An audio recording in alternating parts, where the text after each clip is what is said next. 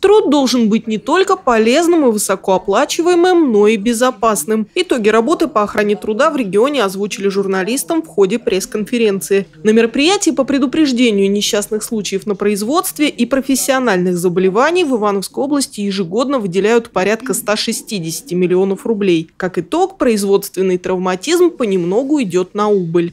Почти в два раза уменьшилось количество несчастных случаев со смертельным исходом. В 2014 году это было 20, 18 а, человек, а, которые погибли, в 2018 – 10 человек. Сократилось количество тяжело пострадавших на производстве с 47 до 24 человек.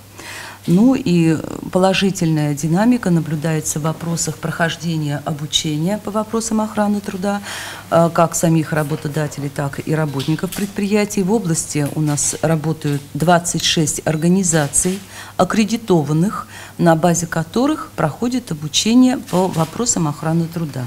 За соблюдением прав работников в регионе следит трудовая инспекция. Реагирует главным образом на обращения. И количество жалоб – это тот показатель, который из года в год растет. За 2018 год службой проверено 1353 предприятия. Работодатели-нарушители заплатили государству штрафов на сумму почти 30 миллионов рублей. Но конечная цель не карать, а организовать достойные и безопасные условия труда для ивановцев.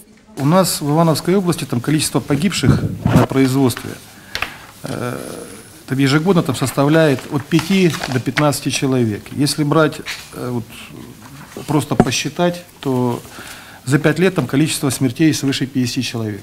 Вдумайтесь, 50 там, человек за 5 лет погибли на производстве. Таких потерь, ну, в принципе, не все это вооруженные силы такие потери знают. В этом году за три месяца мы расследовали целых 13 несчастных случаев на производстве, из них 5 случаев признаны связанных с производством.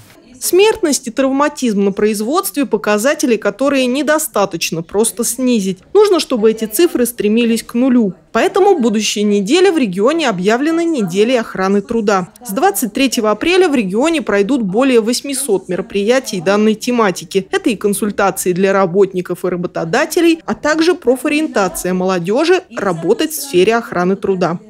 Наталья Гутарина, Антон Осипов, РТВ Иваново.